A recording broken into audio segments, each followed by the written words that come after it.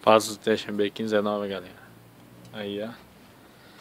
Bichinho zeradinho. Ele é, ele é meio vermelho assim, por causa que é de cobre, né, galera? Aí, quando é novo, é uma dica que eu dou e não sabia também. Se você vê o radiador do cara meio vermelho assim, ó, é porque é novo. Que é de cobre. Essa coisa aqui por dentro. É, né, galera? Agora, acho que não tinha outro nome melhor do canal não ser fatos do texto, né? Acontecido aí, né? É, coloquei o radiador lá.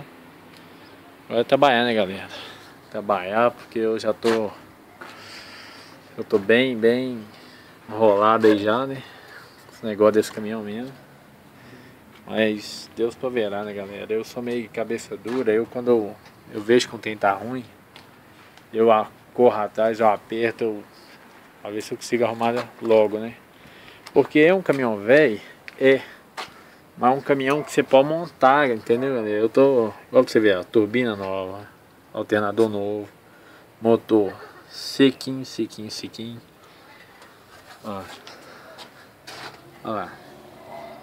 Olha o filtrozinho lá. Eu, eu mantenho isso aqui transparente, galera. Pra ver tudo que tá acontecendo. É que eu não tenho racor. Então eu tô aqui, vou regular os freios do caminhão. Vou apertar, vou tirar os negócios aqui de dentro, ver se eu aperto a... Ver se, se tem aperto né, a caixa. A caixa de marcha. Acabei de já passar no borracheiro e apertei esse pneu aqui. Já apertei esse pneu aqui já, esses dois. Aquele ali o rapaz apertou até demais, tá até com medo. Aí, então, é uns imprevistos que acontecem, galera. Porque eu confesso que eu não estava esperando eu ter que mexer esse radiador agora. Mas o radiador já estava na calamidade que estava furando sozinho, galera. O caminhão parado e vazava a água ali, ó. Então, não adianta tampar. Entendeu? Varetar ou tirar, igual nos furos. Quando tava dando os furos ali. Não adiantava nada eu levar lá por causa que ele ia isolar o tubo por dentro. Ia ficar a mesma coisa, ia ficar e desativar ele. Então,